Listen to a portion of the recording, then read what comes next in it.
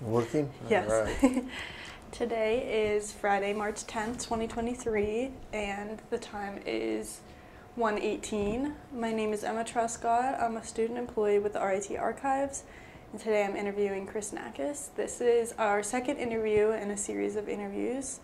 Um, Chris graduated from the RIT School of Photographic Arts and Sciences in 1983, and we are putting, working on putting together an exhibition of his work. This interview is being conducted in Chris's house in Rochester, New York. And before we get started, can I ask for your verbal consent to record? Yes, you have my permission to record everything that I say. Awesome. All right, so whenever when we left off from our last interview, we were talking about the end of RIT and everything. Okay. Um, but before we move on, I wanted to ask you about your experience in Austria. You Mhm. just want to tell me a little bit about what that trip entailed? Sure.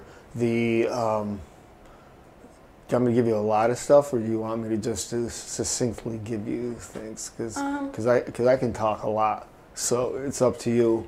If you want me to give you a lot of stuff, then you can edit whatever you want to edit, or do you want me to just give you a small little sampling of what? You can give me a small little sampling first, and then I'll ask if I Okay. can think of other questions. Sure, sure. The um, it was our third year of of at RIT. There was a program uh, that Salzburg College went through a Northern Illinois University to have kids from the from the United States uh, from different colleges of the United States uh, to go to Salzburg and to stay either a half year or a full year in the program. And one of the programs that they offered was um, fine art, not really photojournalism, but fine art, documentary pho- uh, photography. You can shoot what you wanted to shoot. It's for your students to explore their vision, their you know their artistic ability in order to understand what type of photography they want to do uh, and just to experience another another culture. So we had students uh, from all over the United States, and they would go through Northern Illinois University and then to Salzburg College. So everything transferred over, except I think it was something like four credit hours or something for for RIT students for um, uh, photography students, and for uh, at RIT it was generally the photography program is what they accepted. You know, you couldn't be like a, I don't know, a engineer major or something like that. So, um, and then when we came back, we would have to take one course at any time, you know, just to graduate. We decided that summer when we came back to take a course before, so that was 1982, the summer of 82, uh, so we can graduate in 83, um, you know, on time. For me, it was on time because it was right 79 to 83, four years. So it was a uh, it, it was a program where we learned art history. The art history class was was very good, very good. The whole year was art history, which is good because that accented photography. Uh, you know, you, you you learned from prehistoric art all the way to modern art, and the understanding of different movements, and that obviously helped your seeing process. You know, your your brain developing into uh, you know into a, a visual sense. So, and then we took German the whole year, uh, German classes, so we could um, so we can obviously communicate, and that was a thing that uh, we, my colleagues and I, wanted to do, or my friends. Uh, more than anything, uh, outside of the photography, was to learn German and to be able to speak to just normal, common people over there. Now, I took German in high school for two years, so I had a little bit of you know the grammar when you when we're taking the classes that became easier for me. And you know, you, in high school, you, yeah, you take German, but you really don't speak it that often. So when we first uh, got in there, it was difficult to uh, to, to speak to people. But then after a while, uh, going out, we would always go out and we would um, do our German classes every day, and we try to converse with anybody. And we were staying with a uh, family, and this is this is a funny thing, but the family we stayed with, um, they had we would rent. Uh, we, I'm talking about my friend Bob and I, and my well, the three of us went. Bob, Mike, and I, but Mike decided to go some stay with somebody, someone else. I can tell you that about that later if you're interested. So we stayed, and we didn't, and, and the people that were the head of the house. They had a, it was called a Gasthaus or pension. It was they had a beautiful, beautiful like uh, house that they had separated and they rented out rooms to students and to just visitors that are passing by Salzburg. You can rent a room out for like two, three.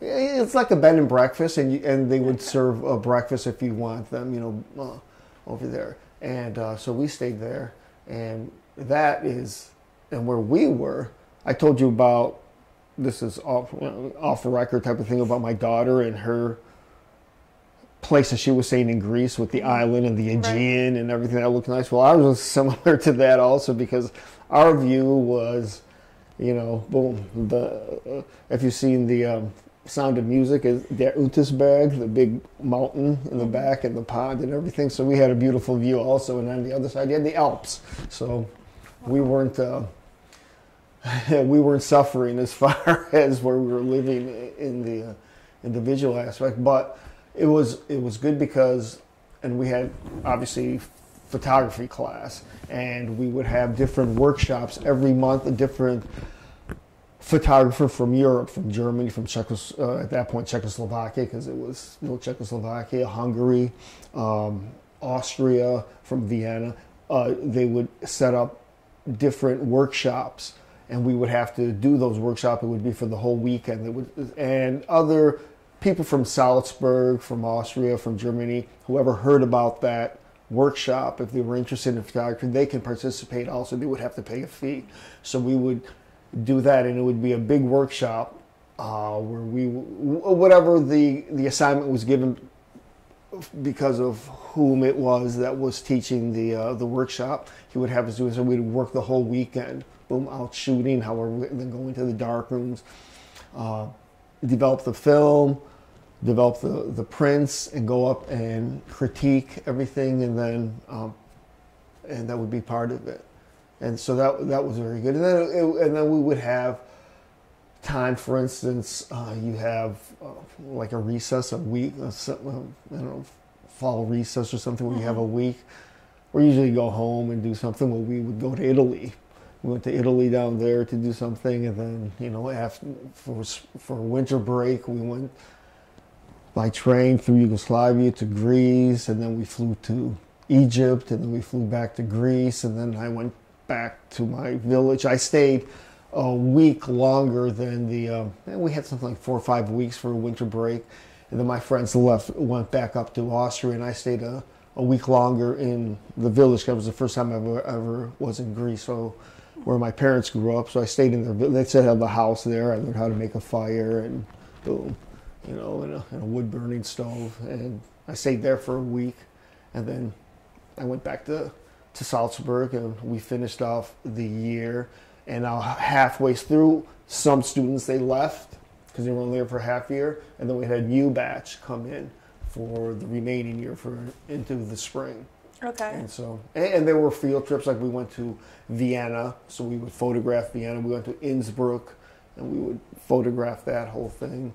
And you know, no matter where we went, we the the when we first got there, we would fly uh, in September for the school year. We flew into Belgium, and from Belgium, there was a big uh, bus ride with all the students from the whole school, so you, we can get acclimated with one another. And it was like a week going down Germany, going staying in different cities of Germany until we finally entered Salzburg, and that was just to get accustomed to the uh, the culture, the people, your students, and you know a lot of people were homesick and oh, it didn't bother me at all. But some people are emotional like that, so the, so and that was that was that was a lot of fun. So and then when we came back after the half year was done, then there was another batch of students, and they all came, did the whole thing. So they were a little bit tight knit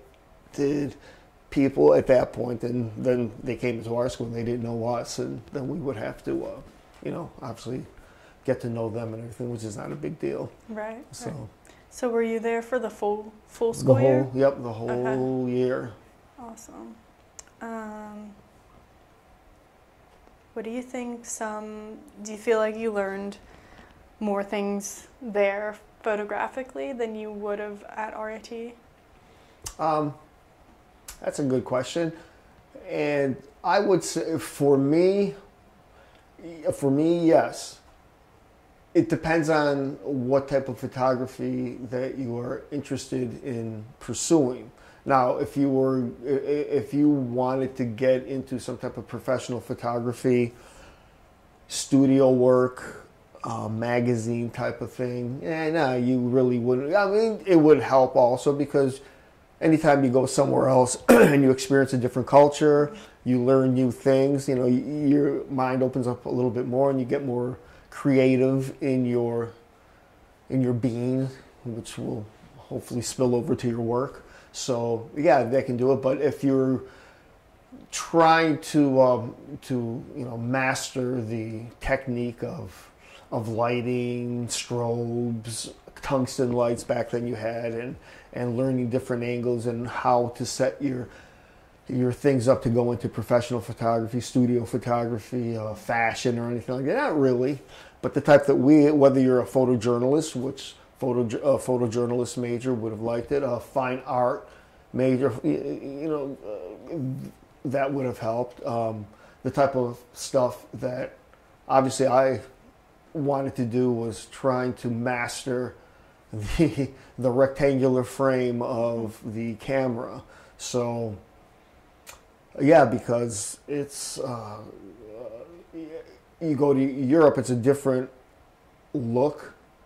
We had different instructors every month in those workshops, so you had a, a, a lot of variety in teaching. Where at RIT, you did have that, but not as much mm-hmm.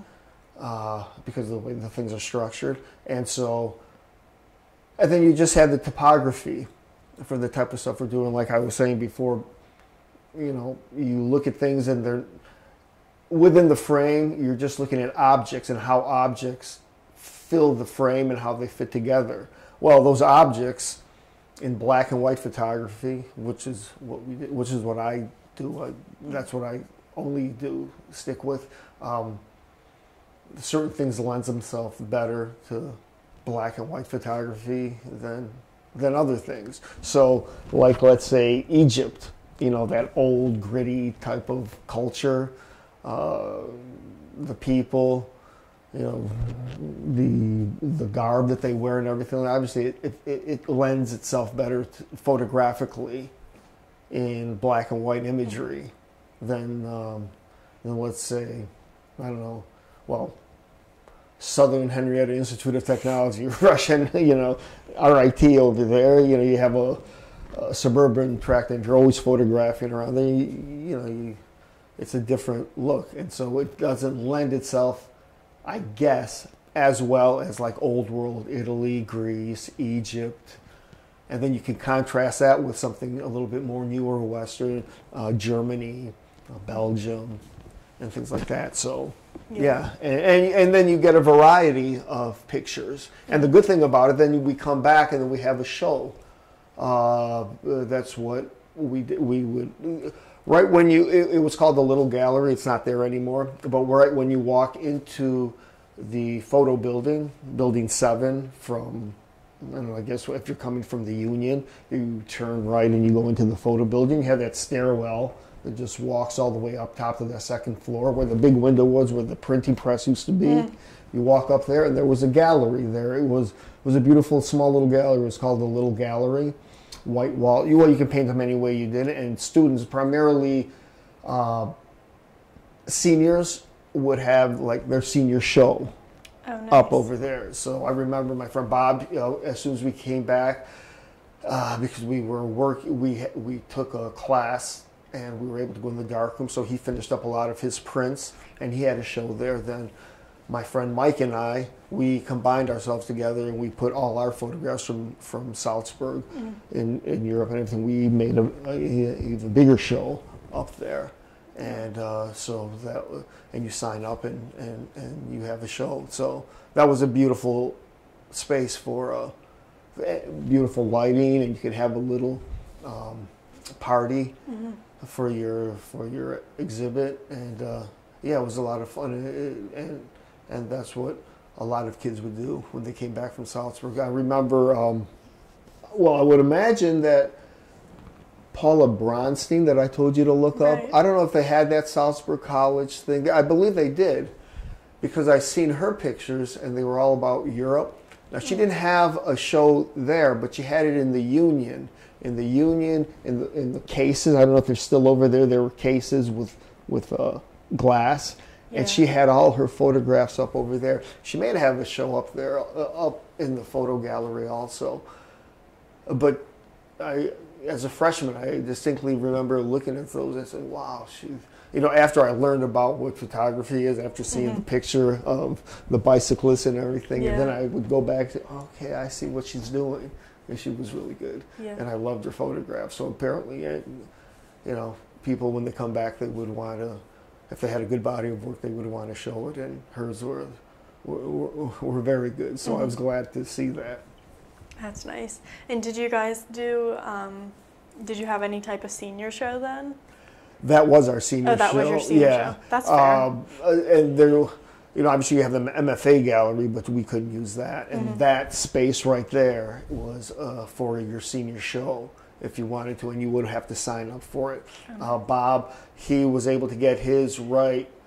Shoot, his was the first show, so right in September. And Mike and I, when we combined, we everyone had signed up for it, and well, actually, we both signed up, uh, and this is what I was mad, but we both we both signed up for a show, and Mike had his a little bit later than mine, and it was in the springtime, and so my first year instructor, Michael Soluri, whom I really liked, and I like Mike and everything, and um, he had another freshman class, and f- I don't know what it was. It was like a freshman something that was coming on over there, and all you the students are gonna have all their parents come around, and you know that's so geeky. I don't know, it's so stupid. Yeah, because you know my mother was Greek. You know, like she was gonna come to something like that. No way. so, so he begged me, you know, oh please, please let me have because it was at that spot. Please let me have that spot. And I said, but there's no other spot. I want to have a show. Oh please, just uh, go go with Mike. Combine with Mike. Mike, you can Mike can have a show. I said, well, you know, I kind of want a, you know, just to have my own show. And he just kept begging because he wanted to show the students, parents, how well his freshman class was progressing. So, all right, Mike, I'll go with Mike. so, Soluri had that space. So I combined with Mike. I was a little bit mad, but then I said, oh, what? Forget your ego. Mike is a good friend of mine. He had a lot of good work. I had good work, and we put a show together. It was a bigger show, and it went really well. And then, you know, we brought Greek food. He's Italian. He brought Italian food, and it was a big, you know, opening and everything like that. So we had a great time. So in retrospect, yeah, you know, I would have liked to have my own show, but why? It was actually better with Mike, Yeah. and he was a good friend of mine, and the party was a lot better because it was a big combined Greco-Roman Yeah. feast. That's really nice. um, is the Bob you keep mentioning? Is that Bob Bob? Bob. Oh, Oh, Mul- Manganelli. Mul- his name was Mulkern. Right. And then he changed it to changed it to because I made fun of him with that because I kept telling him, right, Bob Mulkern. Now, that's a crappy name for an artist. You know, like Jackson Pollock. That's a great name. Henry Cartier-Bresson. That's a great name. And then I would say Christopher Nakis. Now that's a good name. Now Bob Mulkern. so we were walking down the quarter mile and he was saying, "Yo, but actually my last name, my real last, last name is Manganelli. So I'll change my name. I'll change it to Mulkern Manganelli, and my friends can call me Kern. Said, no. I said, now Manganelli sounds good because it's a good Italian. It, it kind of, you know, rolls Manganelli. so then finally, when he went to um, um, UCLA Film School back in, and he changed his name to uh, Robert Manganelli. Then, so it's been Manganelli since then. so that was funny when he did it, but it was uh, you know we were thinking about okay how uh, we have to have a name, and you know we have to have a good name because artists, you know. Have a good name, and if you don't have a good name, you get a nickname like Ouija or something like that. Yeah. So, That's funny. Um, okay, and then I guess next, when did you, what year did you graduate from RIT? 1983, the fall of 83. So I started fall of 79. I'm not the fall, the spring of 83. Fall of 79 to the spring of 83, just boom, straight through Perfect. with no, uh, with no, uh, uh, you know, cuts in between or Yeah. anything like that. And did you have any plans of what you were going to do after college? That Oh yeah, it was. Uh, well, uh, it, it, it was.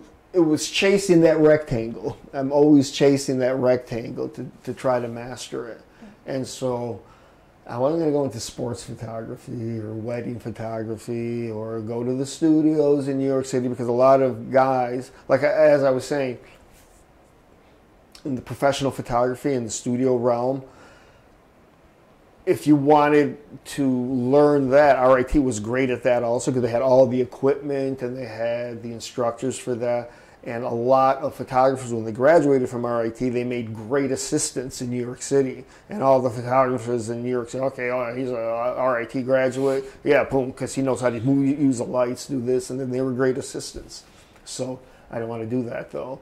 And so my dream, once I graduated 83, I used the darkrooms to get a portfolio set, but I knew I needed more than just, hey, this is my college portfolio, and you know, hey, can I knock on doors? You couldn't do that, so you had to take a next step. You had to do something different, and although mine wasn't that different, but I said, all right, what, where can I try to get the best photographs, so at least I can make some type of impact, some type of something from my next step and uh, since I uh, I did pretty well with photographing my family in the freshman year, and then when we were obviously in Austria, uh, just everything from like Egypt and Greece and all that, uh, I said, okay, I have a home in Greece, my father's house. It's just still in the village over there. I can stay there for a year and. Just stay there and shoot as much as you can, document it as much as you can, and come back with hopefully good photographs.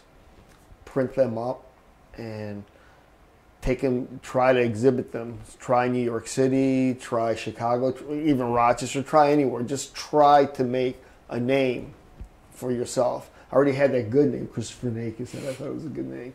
and then now you have to have photographs to back that up. Mm. Where Manganelli, Mulker, no, he had to change his name to, try to do it. So, so I had that, and I said, all right, let's see if I can, uh, if I can pursue that. But unfortunately, my mother at that point she got sick. So what I was doing is, I got my first job at Mel Simon's Photo Labs, which is on Field Street. I don't know if you know where Field Street is over here.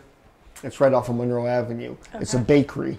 It's an old bakery, but he set it up as a photo lab. Nice. And so I was take, I was kind of taking the summer of '83 off. You know, we were just joking around, going to parties, trying to see, you know, how many girlfriends we can get or something before we had, you know, had to get serious. And my mother, hey, gotta get to work. What are you doing? You lazy? She gave me. I all right, all right. So finally, you know, towards the end of the summer, I went up. I walked up to the store and I grabbed a newspaper and I looked at the wanted page. I mean, you guys don't have that anymore, but I looked at the wanted page and it said photographic black and white technician needed. I said, oh, all right, Mel Simon. So I called him up. I said, and I made an appointment for the next day. He said, yeah, sure. So I took my portfolio. I went over there and he looked at it. I guess he kind of liked it. He said, okay, you got a job. Can you start tomorrow? I went, sure. So I went, and he was so backlogged. And I mean, this was, I mean, it was black and white photography, I mean, printing, and you know you had photography for, for, for periodicals from the Jewish Community Center, for like the YMCA's, you know, these staff photographers doing these things with ladies doing aerobics and everything. So you know you had to photo, you know, print all these things up, and so he had so much work. And, and, and mind you, this is fall going into the winter and everything. So I'd get there at eight o'clock, and I wouldn't get out till like twelve. Mm. So you're in the dark room, and you get out maybe half hour for lunch, and you get a little bit of light. got back in the dark room all those hours, and you become a zombie for all that. But he had so much work; we had to work on Saturday also. And my mother kept going, "Oh no, you're working too hard." No, no, no, no. She's the opposite. You're working too hard now. You're you're going to kill yourself. So, but he's got a lot of work. He's got to get that done.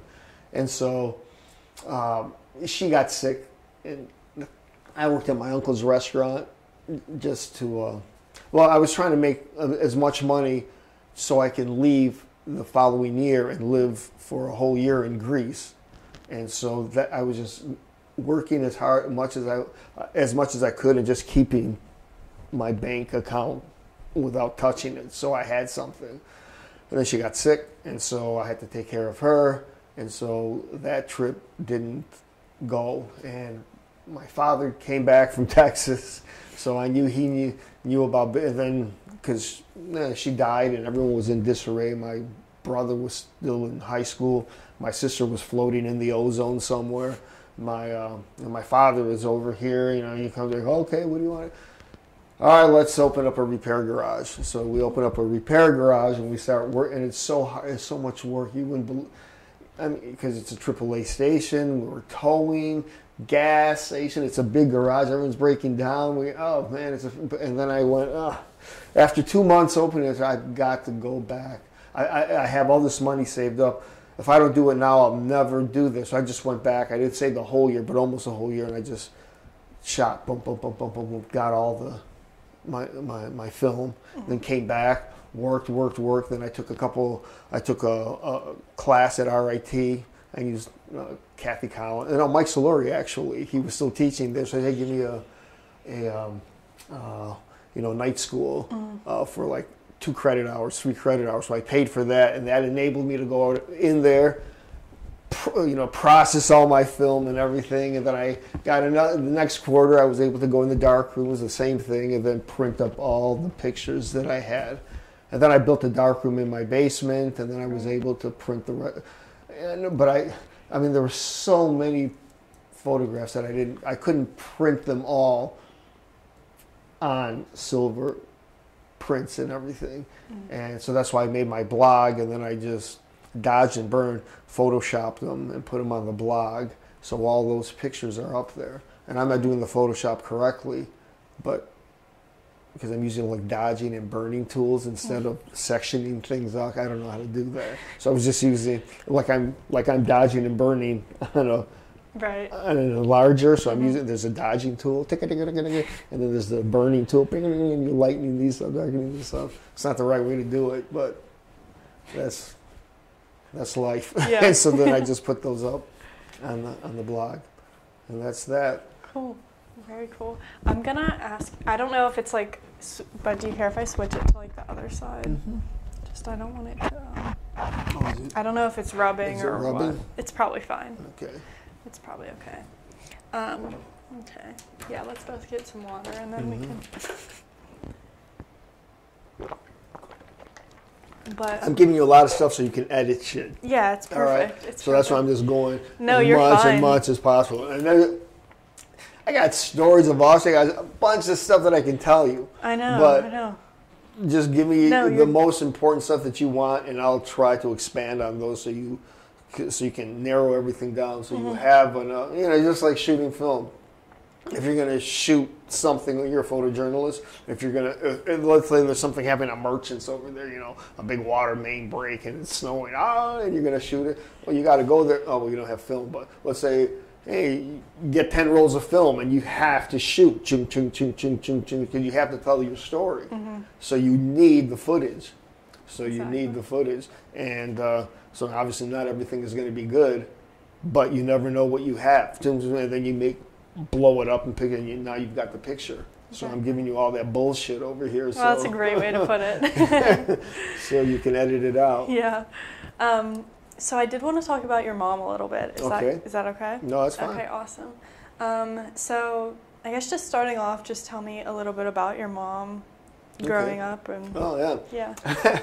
All right, my mom, she grew up during, um, well, my mom and my father, because they're from the same village, and they're about the same age also. So she grew up in, um, it's called Flamburo, Florina. It's a village from Florina. It's the last village on this one road. It's in the mountains, a very nice village.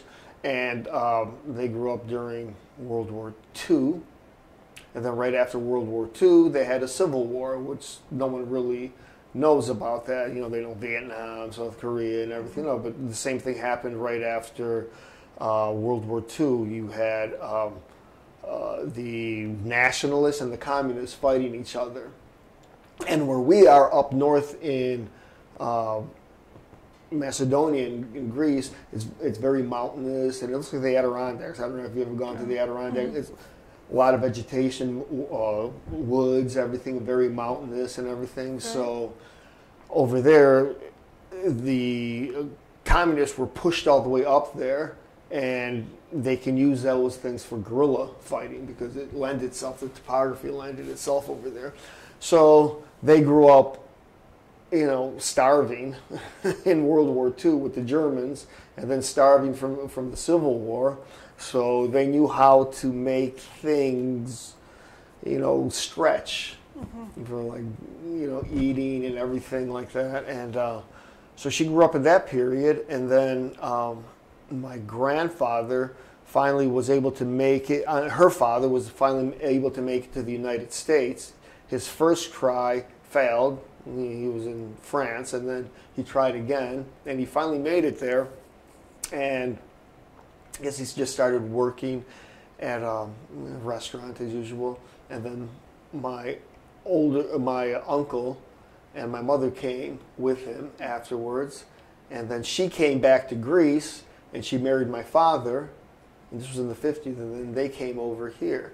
So they, uh, well, they started a family, and my father was very industrious, so and he had a good uh, trade in mechanics. He was a very good mechanic, so just working one week in uh, one year in a bus stop, then he was able to open up his uh, garages and everything. So my mother was taking care of the family, and so after a while, you know, they bought a house, Vick Park A, and well, they separated. So my mother was the only one, you know, taking care of us over in the in the city as we were growing up on Vick Park A. And um, when we moved to Henrietta in '72, uh, she had the house on Vick Park A where she would rent it out and she would do all the upkeeping of it and everything. Obviously, when she needed some heavier work, I would help her out. But she was taking care of that because we were still in school. I was sixth grade, seventh grade, and, and my sister, well, like I said, she was always in the ozone flying around. So, so she would work on that, and then she got a job at my uncle's restaurant on East Main Street, and she was a waitress. So, throughout all of junior high school, high school, college, she would get up. She couldn't drive. She would pick up the bus from uh, Suburban Plaza, and she would go all the way into the city, and she'd work all day, all night, and she would come back, boom, with the bus, and then she'd go shopping at either at Star Market, Wegmans, or Tops, mm-hmm. whoever had the most sales, and she would just condense everything, and she would save and skimp and things. Yeah, there's okay. I'll give you some ideas of how she saved money. All right, how she would skip. So, for instance, we would shower. Mm-hmm. She wouldn't shower because that's a waste of water. It keeps going down. So she would put like about three inches of water in the bathtub, and she would, you know, get in there and she would wash herself, and you know, and you can hear the skin on the porcelain, and it makes a weird noise. so, but we're used to it because we heard it. So freshman year, Bob slept over one night, and it was my brother and I. We had two twin beds, and Bob was on the sleeping bag over there. So we were over there, we were talking about it, eh, whatever. Where my mother went to take a, a bath, and so sure enough, you know, the noise of we grew up and Bob, he jumps, looking around. What's going on over here? What is, he thought something was on the roof, like raccoons or something coming. What's going on over there? He said, "What? And can't you hear that? No, because we because it's white noise to us. That thing right there. Oh, that's mom. She's in the bathtub washing. So I had to explain to her why she does that because mm-hmm. she she would save everything and she would just didn't matter. Everything was on sale. She would never buy anything that wasn't on sale, and she would sprint and she would do everything. And then, you know, that's how she kept uh, the house at Vick Park A and our house at because uh, she was taking care of the mortgage mm-hmm. over there. My father, when he was around, yeah, he would he would help, but you know, he was always. you know, floating in the other ozone, you mm-hmm. know, going all over the place. So, and then she skimped and, you know, she helped me through college and, you know, anytime I would work, like when I came back from Austria, I found a job splitting wood all summer. And it was in Chili, Churchville, Chili. So from Rush Henrietta to Churchville, Chili. You don't know it because you're not from around, but it take and I would I didn't have a car at that point because uh, my other one broke down when I came back from Austria. I couldn't fix it, so I would ride my bike an hour and a half, wow, all the way okay, going the back way to RIT, to Jefferson Road, all the way to the end of Jefferson Road, Chili Avenue, all the way Buffalo Road, anyways.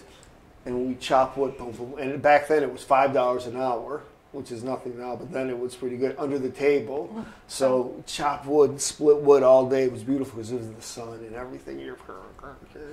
And then ride all the way back home, an hour and a half. I never got a flat tire, which was beautiful. And then, and the guy would pay you at the end of the day, you know, forty-five dollars, nine hours of work, boom, and, you, and he'd give you beer for a for a break with the sandwich. You know, you, you bring your sandwich, but he'd give you a brewski. The other guy though wouldn't. He'd give you some water. But one guy, Clyde, he'd give you a brewski. So we would sit and eat, and then I would just when I went home because I knew how much my mother would work and she would skimp and everything. And she was helping me out with college, so all that money that I would just give it to her and you know, I take it. No, I don't need it. I don't need it because I can get anything anywhere. And so, uh, and so I was trying to always help her out like that because with a little bit of nothing, she would make so much. And obviously, when she died, you know, she she left. So she she had two houses. One she gave to my sister. The other house was in my name. She had a big bank account. that she gave to my brother, and with that stuff together, my I put another mortgage on the house and my my brother's uh, money that he got from my mother. We were able to open up that big business Nakis Auto Care, which was very lucrative for 20 years. So it was it, it was a big automotive place, and so that came from my mother, actually. Awesome. And uh, yeah, she she was tough, yeah. and um, and you know, and then she in '84, yeah, '84 84.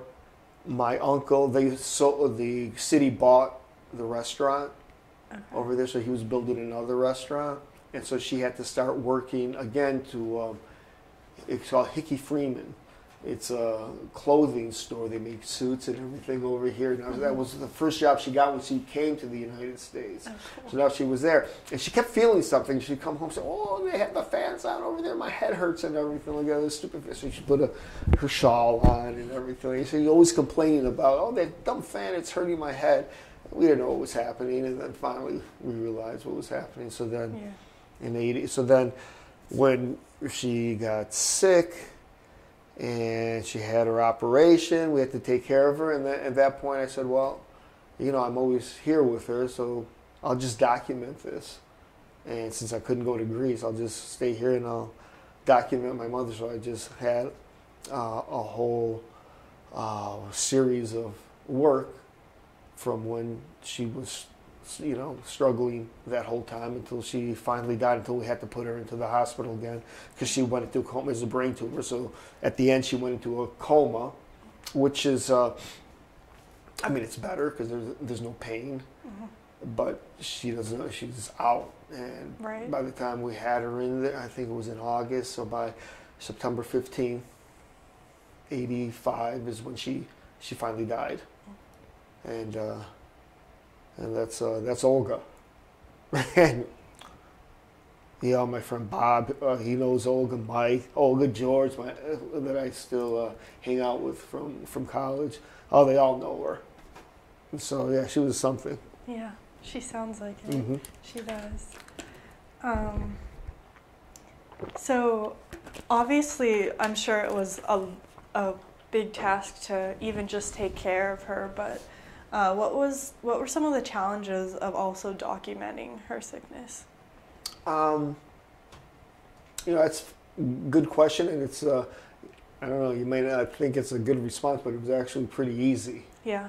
because she's seen me photographing all the time. So for her, it was oh, here he goes again. So it was, it was like the, you know the her washing herself in, a, in, in in the tub. For us, it became white noise. Yeah. Well, the camera around all the time, that was white That noise was for white her, noise so it too. didn't matter to her. Yeah. So I can I can photo no matter what. She didn't care how I photographed her, Mhm. where I did, whether it was candid shots or if I set her up somewhere. Here, let me photograph you here and everything. It didn't matter, Mhm. and um, she kind of liked it because then it was she and I were together the whole Right. time.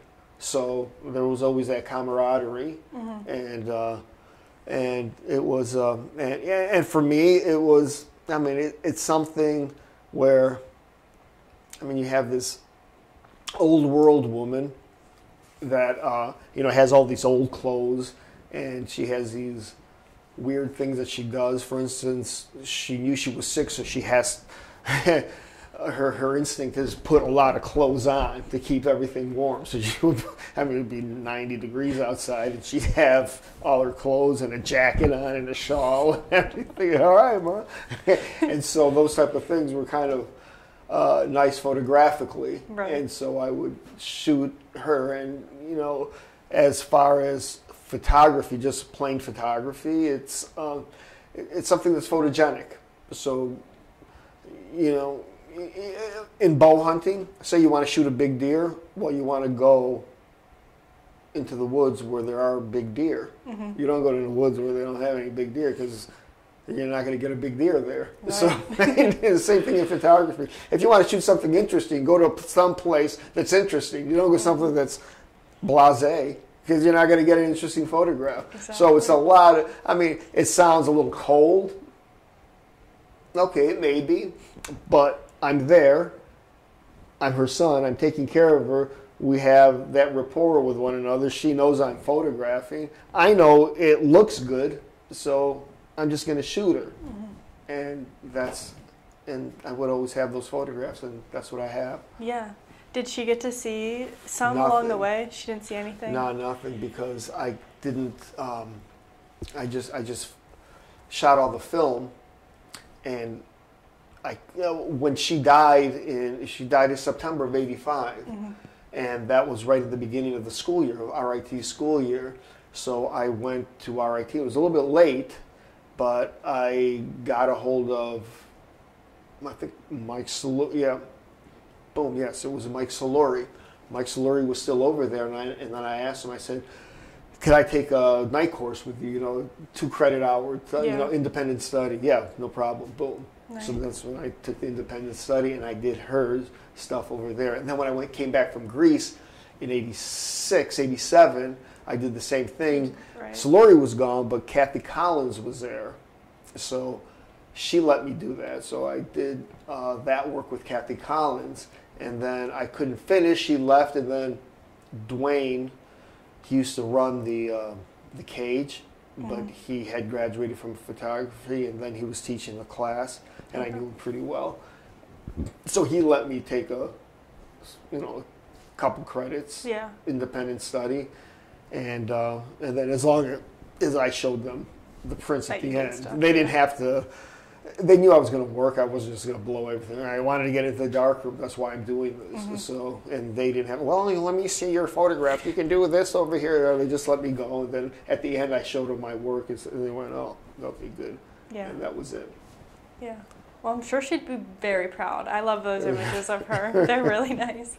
Um, how do you how do you feel now that you have those images to look back on? Like I'm sure that's a really good. Oh yeah, yeah. Obviously, um, I, I I like them. Um, it's uh, you know I had a couple exhibits and everything where I would put some things up, uh, but I was and, and then I would put them online on my blog and everything. But it's uh, you know I'm I'm glad that I I'm glad that I took the time to uh, to photograph her in in in that way because I uh, you know because I had her with me the whole time and I was able to to shoot and to experience it. So I have the documentation of it. Now my father actually the same thing. Um, he just died this year. Right. uh, he was 91 and the same thing uh, brain tumor. Wow. but um, and obviously this goes with my uh, Dogtown and my dumbass brother-in-law and and the way that stuff. So I didn't have the opportunity to take care of him, and I wanted to take care of him at his place, and I would have been his nurse and everything. And by doing so, I would have photographed him during that time, and. Um, but because of all the stupid things, and my sister put him in a, you know, like a nursing home and everything, which was uh, irritating. So and then, so I don't have that with him, which I would have done that. I would have Mhm. taken care of him, and I would have, I would have, I would have photographed. Now I did in 2012 when he was 80. He was in Greece, hmm and um, he um, he was doing his bees. He's a beekeeper. And, Right. and plus, he got some sweet corn from the U.S. and he really good corn, and he grew it there. And then he, this was the year before, and then he sold it. He made like 500 euros there. Hey, that's pretty good. So now he wanted to do the same thing, and in, coming from the mountains, there's a, a stream, a river they call it, but it's like a stream, and it's dammed up. And so he was he wanted to see, oh, how can I irrigate this thing by using the so he goes up to the dam and he is trying to um, to see how he can irrigate his thing. So long story short, he jumps off the dam, and on the dam, you know, it's slimy, greeny, algae, Mm. water stuff, and it's on the cement, and so he doesn't fall into the water, which is right next to him, four feet of water. He falls on the other side, which is 20 feet down into cement, Of course. and he's boom, and now he's laid up, and someone has to take care of him. So we're just trying to figure out um, a nurse over there to help them, but they have to come from the city into the village, and, and it's going to cost more. So when you did all the math, it was easier to have somebody here go over there and take care of them than to have somebody from there to do it, and plus they're not going to give them the right care. My sister didn't want to do it, so I did it. So I nursed him back, and I photographed him there a little bit while I was there. Oh, And so I have that, which is like a, um, you know, it's 10 years prior to when he, he did die. So I have that that I can use, but it's not the same Yeah. as when, if, if I had him over here taking care of him while he was dying. hmm So, Right. Right. Okay. All right. Um, and now, I guess go just to, to go back just a little bit Mhm. back to when you lived in Greece. Um, so you lived in Greece in the year of '86. Is 86, that right? yep. Okay. Um, tell me a little bit more about that year. I know you talked a little bit, but you so you stayed in your father's home. Mhm. Did you have any other family around? yeah, my, uh, yeah, well, family I have like cousins, second cousins, everything. I'm related to a bunch of, a bunch of people over there. Right. and so they're all over the place. Uh, really close family. My my brother, my father's brother, my uncle, he was there in another village. Uh, my cousin and uh, you know closer family like that. But most of my close family came to the United States. Right. So I just have them, and then I just have second and third cousins floating all over the, the landscape there. Okay. And so um, when I was there, I brought a bicycle. Um, And yeah, it was easy too because it was, you know, '86. You didn't have 9/11, so I went there. I had a backpack, an army pack, and a big rectangular box where you had to put the bike. I bought it from Bike Nashbar, so and I had that with me. And on a uh, actually Mike Groen, who we went to Austria with, he gave me because I stayed with him. I flew out of New York City, so I stayed with him overnight, and he gave me. Uh, when you did you ever shoot with a view camera? No, probably not. Well, okay, so a view camera comes in a big like suitcase, and you put it on its side, and you have a little cart with straps, and you Oh, go cool. around like that with the view. So he had that. So he goes, you know, Snake, you know, you're gonna need this thing with that bicycle thing. So he gave me that thing, which was beautiful. So I come nice. out of the airport, and you got to go through customs, and I have this big bike, big backpack, and everything, and I don't look Greek, so. You have the Greek cops over there, "Hey," trying to shuffle everybody. It's the old airport, trying to shuffle everybody over there. And he's looking at me and said, what, "What's this?" I said, "Podilato." And you're looking, "Oh, you're Greek." Yeah, you start So talking, you speaking yeah. Greek. And he goes, can I just come this way? boo, boo?" And he shuffles me. I don't have to stay in line or anything. He just shuffled me off into the into there, and I just got a taxi and found my cousin. So, so with that bike, I rode to all the little villages around Flamburo, and I would stop. I would uh, I would go to the to the to uh, Cafe Neo. A Cafe Neo is uh, is like a coffee shop, and uh, it's for mostly uh, elderly males. Males would go there, you know, old guys. They sit there, and they talk, and they play cards. They drink coffee. They have their worry beads. Boom, boom, boom. So, and I would, I, I have a my summer uniform. My summer uniform is uh, just a pair of shorts and and uh, wrestling shoes. so I would, so I would go to because it's summer. It's Yeah. nice. I don't know. Are you crazy? So I would go to village to village, and I would go to the Cafe Neo because at the Cafe Neo you're always going to find a couple Greeks over there. So I'd go over there, and they'd look at me. "Hmm."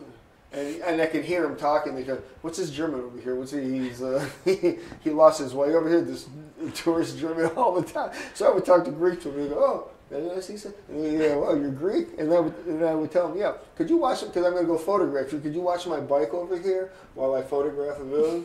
Yeah, go ahead. And then you know they're all looking and everything. So then I would walk through the village, and I would just photograph. Boom, who, who's ever there, and you you know I'd get like a strange look from everybody because you know. I, got a pair of wrestling shoes on, a pair of shorts on, and a camera, and that's it. You know, and my bag where my film is, and I'm just going around shooting. And I would stop and talk to people, and they would get a kick out of it. And I would tell them what's going on, and so boom, boom, boom. So each village, and there were lots of places that I would stop, and then I would go back, and then they would know me that point. Ah, no, no, photographer, you put your bike here. I'd go around and I'd photograph again, and uh, you know, you talk and you help people out in, in the village, in our village. Everyone they hated chopping wood. Because They wood stoves, and they would come from and there's a big pile in front of everybody's house. They have to chop it, and then they have to stack it. I hate stacking it, but chopping is a lot of fun because you know I did that when I came back Yeah. from Austria also. So I would go to house to house in there because they have their siestas from twelve to two, and it's because it's hot there, and you know the summer. And I said, "Are you crazy? I mean, this is beautiful summer over here. I live in Rochester. It's ninety-five percent gray and overcast. so I'm over there. So I, I would chop wood from everybody. Boom, boom, boom. I would chop it all, and they would love it. So they would feed me. Awesome. Boom. And I go to the next person. They, they would always wait. Okay, put the next thing. Christopher, when am I going to come over there and chop the wood? I chop the wood, and they would feed me and everything. So that's how I made a lot. That's awesome. eat a lot. Yeah. Because I was going to ask you, but you were talking about before how you saved a lot, but then I was going to Yeah. ask you how. You, sa- you saved a lot, and you know the dollar went a long ways back then. Uh, it wasn't a euro at that point. The, uh, the EU didn't come, it wasn't in existence, so it was a uh, drachma was the the money. Oh, and when you go to a, you know, you go to a, uh, when you're in the islands, and it was so cheap, and you know you're swimming, doing everything. You get hungry by twelve or one. You get your, you can rent a little um, a Vespa or a little moped. It was, it was so cheap. You go up to a cafe, or the Psistaria Taverna, a tavern, and you get this meal. Oh, you get a choriatiki salata, which is a Greek mm-hmm. salad with, with moussaka or pasticcio or and a Greek dish or, with a big thing of beer. Amstel beer, oh, it was so good. It, oh, it would just go so good with side of like lemon potatoes and everything. It would cost five dollars or even less for that whole thing. I mean, you would kill it. That's So, awesome. so it went a long way. So when I came back, I still had money left over also. But That's awesome. by the time you chop, and when we were going there, because my friend Andy that we went to, he never wanted to stay in a hotel. So we, like for instance, we went we went to Crete. We we slept on the beach. Mm. We had our backpacks, and um, we would find a place. And you had those roll, you know, those roll things. Uh, you know, they're, they're roll things. You roll that out, and you put like a piece of uh, uh, styrofoam, Mm. and that, and then you have your back or your your sleeping bag on there, and you would sleep right on the beach. And we'd leave the bags there, and uh, you know, you wake up when you have a, the sea is like glassy, Aegean Sea. You have the sun rising in the east. It's so beautiful, blue, blue everything. It's Wow. so nice. And then you know you're there the whole day, and you're swimming, photographing, doing things. Then you get up and you hitchhike. You go to the next beach, and you just sleep over there. And when you go into town, you know I would take my camera, my money, and everything, but you just leave everything on the beach. No one bothered. No one did anything. You go into town. You know you do those things that young kids do, running around, dancing, doing things, eating, and then you come home, come back, and you just roll it out, and you sleep under the because it never rains there, and you sleep in the stars, and that's where we would go. You know, we went there, Santorini, Ios, everywhere. That's And, uh, amazing. So it was nice. Yeah, that's really nice. Um, I was gonna ask where what inspired your photography while you're there, but it seems like you had a lot of different, like new scenery a lot of the times. Yeah, it was, um, and, and like I said, um, you're a photojournalist, so Mhm. you want to tell a story. Right. the way, I mean, I mean, it's probably cliche, or yeah, it is. It's nothing new. I'm not inventing anything. But for me, like I said, mastering that rectangle, for me, every shot has to be the story. hmm It doesn't have to be a significant bunch of pictures to say something. Each shot has to be its own. It can be part of a story, but each shot has to be something that I would want. Not, not everything's going to be your masterpiece, but something that is going to work, and it cannot be cropped. It has to have a black border around it so you know that it's a full frame photograph. And so there's no Photoshop to take things away and, hmm and add something out there. The only thing you do is you manipulate the tones. You know, obviously, you know, I don't know if you, if you ever if you ever work in a darkroom, you shoot something. Oh, here's a you got a nice negative, which is good. You got the tones, and then you make a work print out of it. Well, you got to dodge and burn because you don't have good tonal ranges, and it's just you, you have to learn the technique of how to print Right. how long to keep it in the developer and everything. And then after that, uh, if you need to use ferrocyanide to whiten something up, after that, what we would do, we would use selenium tone when it's all done. And a selenium toner, you can use it so it can be either a brownish hue or a cold bluish hue. I like the, the, the, colder bluish hue. And what you do, you put that in there. This is how stupid I am too. You put selenium it's very toxic, Mm. and it has a very strong scent. And you want to wear gloves and everything. But me, I'm stupid. I never wore gloves, and I would smell it because okay, is that the right dilution? Because you have, if you dilute it too much, it's it's brown. But if you just put a little, you know, one to nine or something, then it's uh, it, it's a bluer, colder tone, and you smell it. And you're not supposed to do it, so I'm probably going to die of cancer. so, so then you you use a selenium, and the selenium is a lot more stable than silver, so it replaces all of the silver with Okay. selenium, and that's why you have that tone, and that's how you like archival things and all Mm. that, all that other bullshit, and that's what all my and that's what the what, what the pictures are, and so mm. each picture has to be that. So I don't care if it's everything's from Greece or mm-hmm. everything's from Egypt, or you have pictures from Italy, South America, Rush Henrietta, Pittsburgh. This uh, it doesn't matter as long as it, it fits within everything fits within the frame, Right. and that's uh, and that is the quest. You'll never get the perfect picture, and that's what you're striving for Mhm. the whole time. Okay. So it's easy when you're in Greece photographing everything. I mean, first of all, you have that Greek light. Oh man, you, you, the Greek sky is that turquoise blue Mm. forever, especially in the summer because it hardly rains, and you have those sunrises, the sunset, and the way it hits objects. Painters go there because they love the light and they love painting things there. And you know, it's as I said, if you want to shoot a big deer, you know, you're going to go to uh, Kansas. You're not going to go to uh, Delaware. so if you want to take a good photograph, you got to go to you know you'll go to uh, Turkey. You're not going to go to Churchville Chili. Yeah. so Ugh. well, as much as I want to stay in Greece in my mind right now, I'm going to bring us back to Rochester, Mhm. unfortunately. But um, so when you got back to Rochester after this trip to Greece, was it just developing all these images and then kind of trying to make more of a name for yourself? Is that where you were at that point? yeah, we we came back and we had we had amassed a uh, portfolio from from that whole experience uh, studying in Europe, and plus we had the class that we had to take in that summer was Soluri's photojournalism class actually. So we had to do photojournalism, and so we had our freshman year.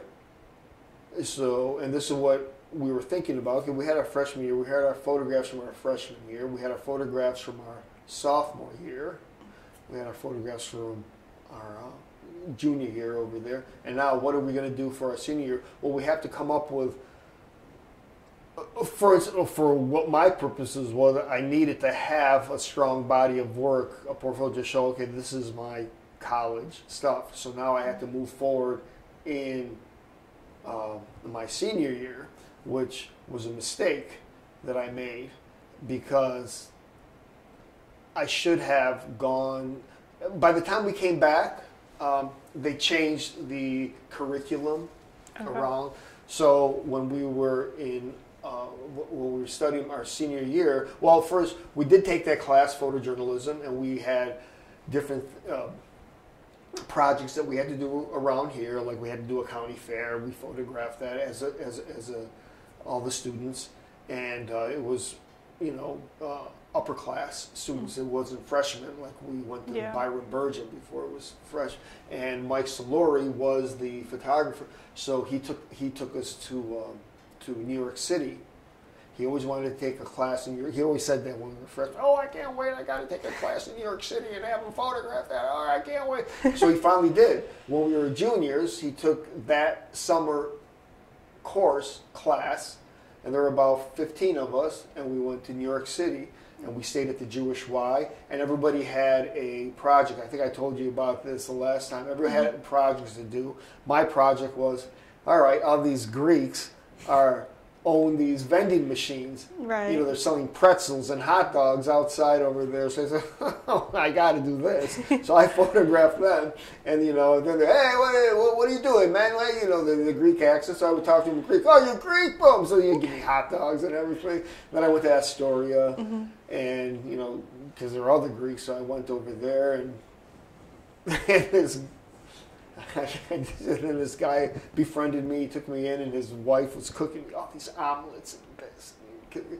And Bob, he was back at, at our room, and we had peanut butter and jelly that we both bought so we could have the whole time there. Yeah. We, we didn't have any money, and he was complaining. Oh, you always freaking And he was. You do seem to always find the good yeah, yeah, motherfucker. Naked snake. You're always getting this stuff. I can't believe it. I'm here eating peanut butter. And I'm laughing. I'm saying, oh, yeah, that's what I had today, Bob. That's funny. Um, And, and oh, well, well, let me finish up so I Yeah, can yeah. edit this up. So, so in that, they had, they switched it off. There's a photo illustration, photojournalism, and fine art. So I first started with the photojournalism. There was this guy. It was his first year of photojournalism, and he I really didn't like him. He was like this, like a beat photographer. Yeah, yeah, that's what you got to do. Bing, bing, bing. I said, well, that's not my photography. I can't do it. So I was going to go right into fine art because I just wanted to master that rectangle as usual. But then I talked to my friend Bob and Mike, and they were saying, well, you know, this is RIT. Take advantage of the technical aspect of using the flash and the studio and every. We already we know how to do this stuff and everything. And I was, ah, they talked me into it, so I was in their class with them, and it was the worst. Like I'm not gonna tell you the story. Oh, it was such. Oh, I should never have done that. Oh, it was like junky instructor, junky project, junky junky, and I hated it. And I should have just stopped. And I said, okay. but then I said, nah, just stick it out. Just use those stupid. Oh, it sucked balls. Oh, I hated it so much. And so, at the end of the year, you know, all right. So then we just, I would have had so much other work from the senior year, but I just had a little bit of work from there, and that's when I just started. When you know after I graduated, then mm-hmm. I just started photographing and just trying to do other things until I, yeah, you know, go to Greece. So it was just a matter of building a portfolio, trying to go shoot, trying to get some type of money to do something, whether it was going to be photojournalism at that point, because then you're allowed to go out and shoot, mm-hmm. and you can shoot whatever, boom, and then right. you know the things that you like, you can have yourself, and where, however it was going, to, however we were going to, or I was going to be able to make a living. And I didn't want to do weddings. I didn't want to do studio stuff. I didn't want to do any of that. And uh, well, that was yeah, just to try it that way, but it didn't work. Yeah. And so. So then, what kind of um, photographic jobs then did you have after that? I did. Yeah, I didn't want to do weddings. I did weddings, but I did them for free because oh. they're all my friends and everything. So, and my and relatives, and I would just, you know, they okay, you're my relative. This, mm-hmm. this will be my gift to you. So I would photograph their weddings for free and everything, and I didn't really. Uh, did, did, I didn't make any money in photography. I was just working and shooting wherever, whenever I could shoot, mm-hmm. and just process the film in my darkroom and just print things that I would think would work well, and uh, and that's what I would do this that that whole time. It was more of a uh, like a part time thing, right? Because I, I, had businesses to take care of, mm-hmm. and uh, and you know bills to pay and all that kind of stuff. So so then it became you know it became a hobby, mm-hmm. but it's more of a hobby because I you know I trained in it, and I tried to, to pursue it in a more of a, uh, you know, in a bigger way than just being a hobby. Exactly. But at the end, that's what it is. Yeah. And so, you know, obviously, I made a, a movie about, eh, and these are the things that we, if you want to talk about the other aspect of it, yeah, we can do that whenever you want. So. Yeah. Cool. That, that's that's the next step. Yeah, well, that's actually next on my list is to talk about the films more so today about because um, I do want to get in deeper to um, your documentary, but I mm-hmm. do want to talk about how you got into the world of cinematography and like the film industry. Mm-hmm. Like how did how did that begin? Okay, um, so we graduate. I wanted to do my Greek thing. Uh, Bob went to um, uh, Maryland, uh, D.C. Mike went to New York City. He started shooting studio work, and he was really good at it. First, he was a uh, uh, uh not a PA, what do you call it? an assistant? An assistant. oh, he's a good assistant. And then he uh, he became a good, uh, you know, studio photographer until digital killed him. But he, he had a oh, you wouldn't believe the studio that he had in Manhattan. I mean, it was giant, like two thousand square feet and he, it was rent control, so he had it for years and years until he wow. finally got bought out. Oh, it was great. So even when he, uh, even when the photography ended, you know, he still had that place until they had to buy him out. But but he did well in, in, in studio. Bob went to to uh, Maryland and he was photographing. They're great photographs. He's another. He's so stupid though. He lost it. All his photographs, all his negatives are thrown out. No. He left it to some place and what an idiot. And they tossed him out on, they threw him out. So he only has a few prints of all his work. He's one of my favorite, like, like a Paula Bronstein, that's how Manganelli's photographs are. That's, uh, fool. So he made, he decided to go to film school. So then he goes to film school um, to UCLA. He gets in there. I'm doing the, uh, you know, the garage. I did my Greek stuff and everything. I did my mother, and, I, and then I went. I was uh, uh, working at the garage, and then um, what happens back in um, huh, yeah nine, around 94, 95, Mike Soluri is getting married, so he wants Mike and I to document his wedding as a wedding, you know, black and white, boom, boom, boom, boom. And he wants Bob to do a Super 8 thing over there because now he's in Right. film school. So he gets us all together in New York City, boom. And we're shooting and we're doing this and everything. Now, Bob gets a big old head at that point because at UCLA, he was the top student there. He won all these awards and he went to the Sundance Institute. I don't know if you know what the Sundance Yeah. Institute Mhm. is. He got accepted for his screenplay. Well, his uh, his short films were put inside there, and, Okay. and the short films were very good, very good short films. And he was in the New York Times uh, article. You know, here's Manganelli and Sundance, and they're quoting him and everything about him. And he was an up and coming guy at that point, just like a year or two before was Tarantino, and his Reservoir Dogs was workshopped at Sundance, just like Bob was doing his Oh, script. awesome. So then he was able to make that. Then he did all his other things. So now Bob was over there at Sundance, and so uh, I didn't know what. I, at that point, I didn't know what the hell Sundance was. But we're shooting, we're talking, we're staying in Mike's apartment. Blah blah blah blah blah. Things happen. Bob is, you know, full of himself. He and I almost get into a fist fight over there. It was stupid, but we always get into fist fights. I get it. So I didn't want anything to do with him, so I leave. Um, and so his brother was going to finance his film, but his and I'm sure his brother, uh, with all his money, when he'd go to Los Angeles, he'd always find a bunch of prostitutes and uh, and cocaine. So he ended up doing nothing. So here was Bob, who was going to be this big producer, you know, filmmaker and everything. Off, whenever you want, I'll tell you about those stories also. so, and then finally, about 1996, because we're moving from one garage to the other garage, and then right before the move, I said, you know, let me just call him Bob to see what the heck's happening with him. So I call him up, and he's down in the dumps because his brother wasn't financing his film; he was doing cocaine and prostitutes. so, so then I said, okay, come on over. I brought him over here, and then I said, let me see if, what I can do. So I wasn't really thinking of finding. I thought maybe I can get some money together to do it. Anyways, so that's how the ball started rolling. Right. Uh, I said, all right, let me.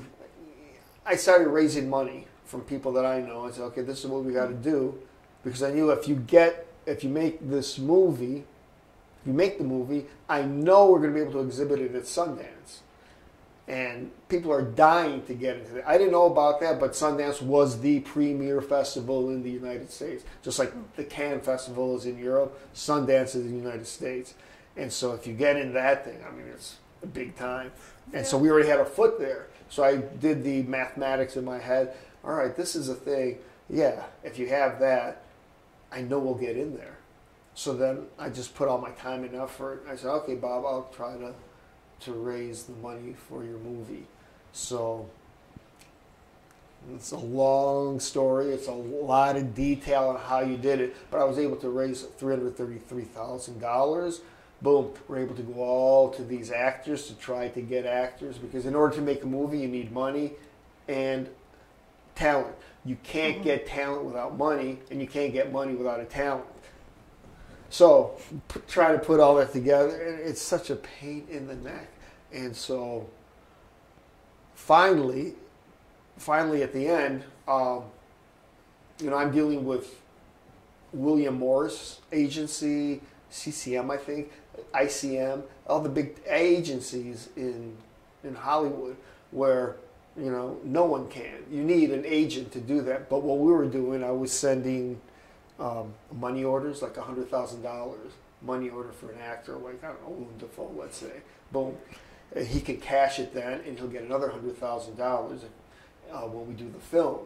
So right now, right up front, we're giving you hundred thousand dollars and everything, and so we would give him the, the the screenplay and everything, and uh, it would be, well, no, it's not enough because you know he's a million dollar actor or whatever, but they would send it back. But the whole thing is, they would have a bank check for hundred thousand dollars in their hand. Now, if they cashed it, that means you know he's got to do it because it's on the contract Right. but they would send it back. And after a while, you know, we would we were sending out hundred thousand dollars here and there, here and there, and then all of a sudden, the the agent, the top agent, they would call me and say, hey, "What do you do? No, we can't do that." So I would talk to them, and so at the end, we finally got John Mellencamp. He wanted to do a movie, mm-hmm. John Cougar, you know, little ditty about Jack and that, that, that, idiot. So he was the one that we finally were able to get. Because of him, we, pre- we were able to raise another 1.4 million dollars.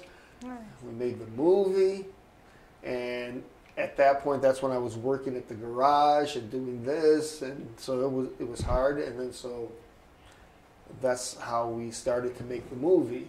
And so after that, we went into Sundance, and at Sundance, it was the movie was picked up internationally. All the distributors bought the movie, except Germany. I don't know why, but Germany didn't buy the movie. We sold all of Europe, South America, Asia, but Germany didn't buy it. Germany. so then a couple months later, then Miramax bought the North American rights to it. So that was good. So did you ever hear of RKO Pictures? Did you ever Mm. see Let's do the time warp. What's that? The Rocky Horror Oh, Picture yeah. Show. Okay. Mhm. Okay, Rocky Horror Picture Show. RKO Pictures did that. You ever in the beginning, at the end, it's like a, it's like an antenna. Yeah. You ever see that? Yeah. Yeah, that's our- we grew up with that because Mhm. RKO was an old company. So because we were able to make that movie at 1.4 million dollars and it looked like a 10 million dollar movie, so they thought, okay, these guys can make small movies. So RKO Pictures contacted us and said, we have this library of work which we have shot, the really film noirish type of things. You just take them, rewrite them the way that you want, and shoot them. You know, low budget, two million dollars, whatever, like mm-hmm. that. So they were get, you know, it was in my house, and Bob was there, and they were sending us VHSs, 'cause, you know, so, and we were watching all these movies, and he didn't want to do any of them. Yeah. Bob, so he didn't want to do any of them, and so we ended up not doing them. He ended up going to Ecuador, doing ayahuasca and with the shamans. Oh, and he comes back and he writes a screenplay. We almost were able to make a $15 million movie, but that fell apart. Did you ever see the movie um, Memento? Guy Pearce, the actor there. We had him, but then that all fell apart. And then, Mm. so then I got a book deal from somebody. Wrote, write this, Bob. He wouldn't write it. This other guy wrote it. That he didn't want to do. That fell apart. and so then Bob will make the movie. He doesn't want. So then finally I said, okay. At the end I said, I'll make a movie. I'll make a movie. I'll make a documentary. So I told Bob. He got into some money there. I'll put in this money. You put in this. We'll both make this movie because it'll be. You're learning how to bow hunt, but you're a photographer, and you'll have some. And then I'm a bow hunter, and I'm a photographer also. And then we'll. Oh, just the interaction between he and I, and the shooting and everything, and it, would have been so much better. It would have been, it, and he would, I would have, I put about twenty thousand. He would have put mm-hmm. twenty thousand. So just that alone would have given us a better production value and everything. We would have had more, but he didn't want to do it. And then his son committed suicide, and that's the whole different story over there. And so that was the film quest. In between there is when we opened up Dogtown also, and I'm trying to make these movies Mm-hmm. while working at Dogtown too. One movie after another after another, and I was able to. Uh, another kid made, another kid wanted to make a movie, uh, and he needed a producer, so he brought me on board as a producer, and we finished it. It was three. It's not such a great movie, but he wanted to do it, and uh, so I helped him, and uh, so I have. So I did three, Okay. and, and actually I did a little music video Oh, cool. a Greek music video for I had a budget of a thousand dollars, so I brought it in at five hundred dollars. And I made a little Greek video, Greek music awesome. video on that. so that was that.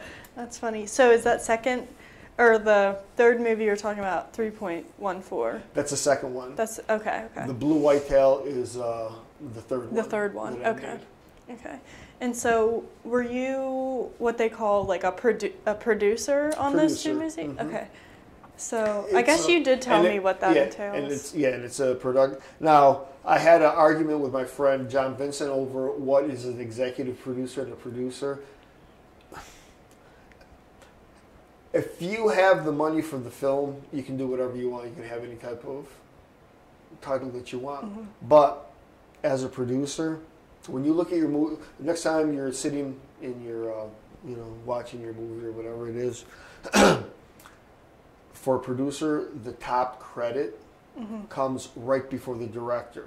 So, as you know, in the beginning of the, I mean, they've changed them all around, but if you, in the beginning of the movie, you see the credits, you know, cinematographer, production designer, editor, screenplay written by, boom, boom, then you have associate producer, executive producer, Right. boom. So the produce the producerial credit produced by boom that comes right at the end because at the end of the title sequence it's directed by. Mhm. The directed by is the last credit on the film uh, when you show it like that, and in your um, in your, in your what do you call it in your advertising. So the producer that is the closest to the director, that is the top producer. Okay. So because Whitetail Images was my production company that financed everything in the beginning. And then I brought on another producer, John Coca, so we could produce. And we're making, we're actually making the film. Now I found the money people, the actual person that put in the 1.4 million dollars. His name is Robert Sturm. Aaron Rifkin, he was a big executive for William Morris. He was partners with John Mellencamp. He Rifkin brought in the talent. Sturm brought in the money. I gave them executive producer credits. They weren't, you know, the nuts and bolts in making the movies. Mhm. They gave us the big things. Now, if they want, if they said, "Well, we're going to be the producers over here. We want those things," well, then we would have had an impasse. We said, "Well, you can't because you're not going to be doing this." Yes, I know it's your money and everything like this. So at the end, if they, if it was either take this or not, we would have Mhm. given it to them. Right. But that is the producer. The, so there's so many other ways of producer. Our uh, assistant director, very important in the film, and this guy, without him, I don't know if we would have been able to make the movie. He was a great guy, Van Hayden. He was our uh, assistant director, but I gave him an associate producer's credit also because he was so valuable. Katie Papp is over here. She saved the production.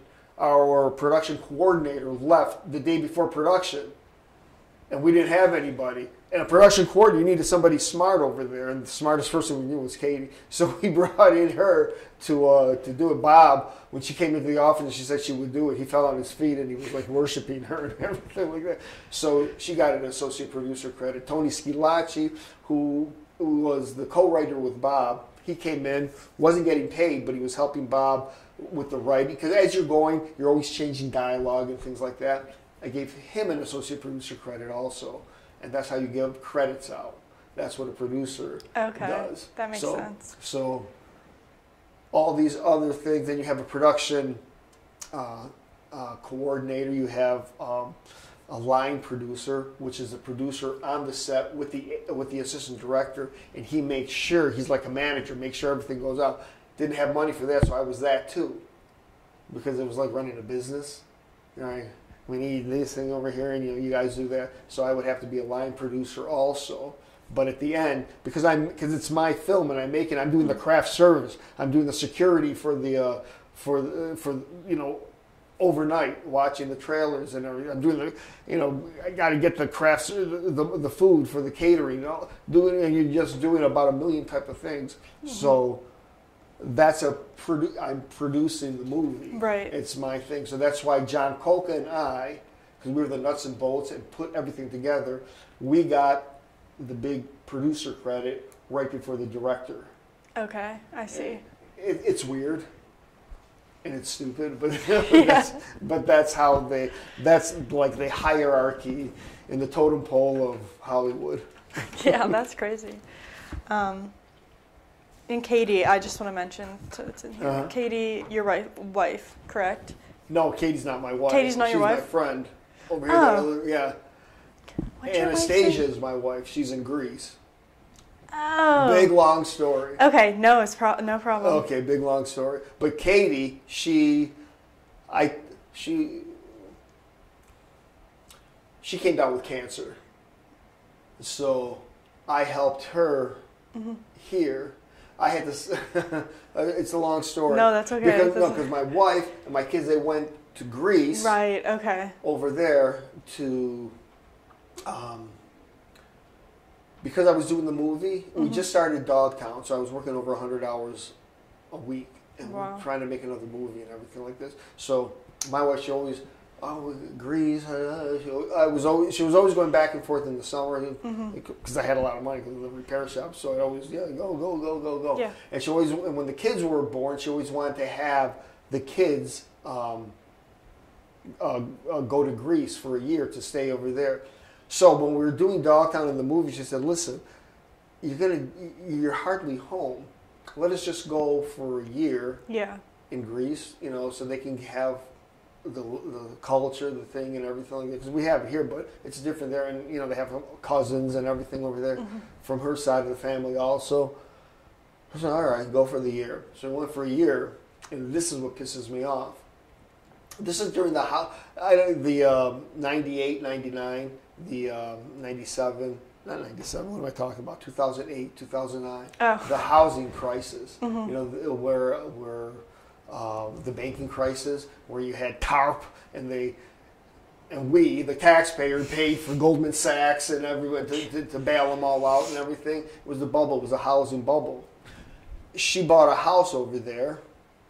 My cousin co-signed it without me knowing any of that stuff. Co-signed that and everything like that. And uh, then when they're supposed to come home, no, no, we bought a house. "Wh- What are you crazy? Now I have my house in Henrietta, and I'm working. So I was just going to let them fail, because who's going to pay the bill and everything? But then I knew if that happens, they got to come back, and I'm oh, and I'm going to get a divorce if that's going to happen. It was going to be the biggest pain in the neck. So I said, all right, I can't do that.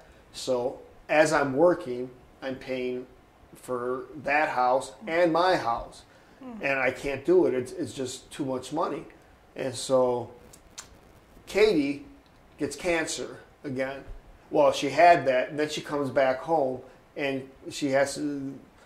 I mean, she had a big, and then she has to do it all over again, Yeah. and then she has to go through chemotherapy and bring the chemotherapy at the house. So, Oh, wow. so now her father set up the institute in in uh, South Carolina. He's he well he was the uh, head of his department at NIH.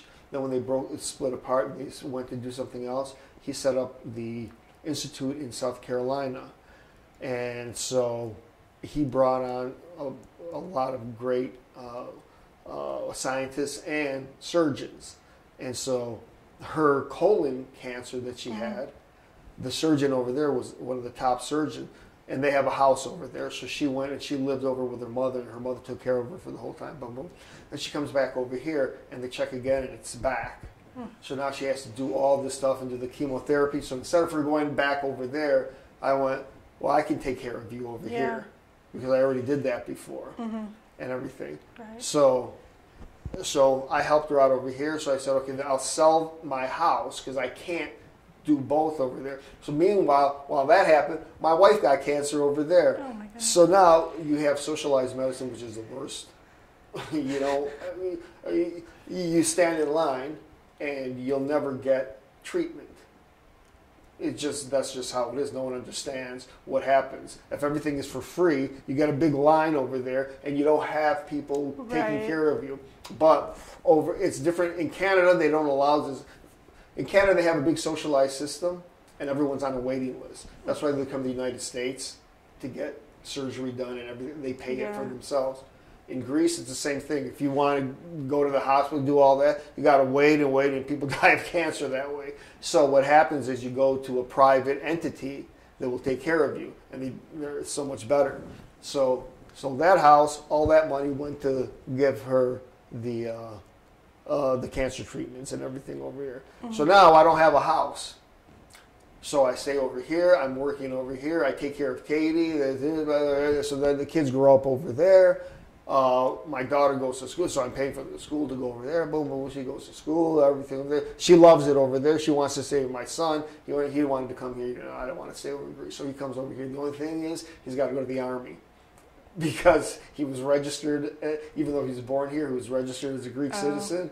Now he's got to go to the army. He's got to be a Greek soldier, Oh boy. and that's the that's the uh, the uh, the nuts and bolts of what happened in in a small, short, succinct way. okay, that makes sense. So now, your kid, but do both your kids live in Greece? No, still? Achilles is here, Just- okay, and and Alexandra your is over is there. there. Okay, okay, And Katie, I knew her from the repair garage. okay.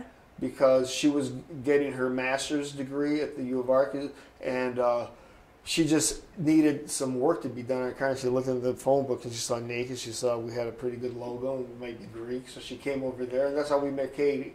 And then when I found out that she was, uh, you know, postmodern American poetry, oh, all that, but it was going to be a PhD thing, and she was going to go move over a PhD. I would give her here, read Bob's screenplay. What do you think over there? And so and so so we started the whole production over there. I brought her on board to help out, and she would type and she would do stuff what she could for the movie because our production office was in the repair garage, Yeah. And I had so many people coming in, volunteers helping and doing this and doing this, trying to get a movie done. So it was. And then she became good friends with my with Fran and Peggy, my brother-in-law, mm. and my. And she would always go over there. John Coker would always come. Johnny Miko, everyone would come. We had so many volunteers coming, and we almost went into, you know, had a star to get into production every a couple times. So we're always shifting and doing things, and this is just stupid independent filmmaking and everything. And finally, it's done, and you, oh, and at that point, Katie, she got pissed at Bob and everything. The guy's a he's a loser. He's stupid. So she don't even bother me. So she leaves and everything like that. Now we need. Oh shoot, who's going to take? Who's going to do the production coordinating and everything? We don't have a production coordinator now because she left right before we're going to start uh, shooting. And, and then, and then Bob says, I mean, it's got to be Katie. She's the only smart one that we know that can do that. You got to ask her. I said, oh, she's going to kill me. I can't ask. You got to ask her. So I went to the library, you know, with the tail between. Yeah. Could you? And so she comes and she does it. she saved Perfect. the production. Oh, that's awesome. All right, well, that's where we'll leave it today. And then next time we can start off by talking about the blue white tail and Okay. photographic processes and stuff. No, no But yeah, problem. that's for today.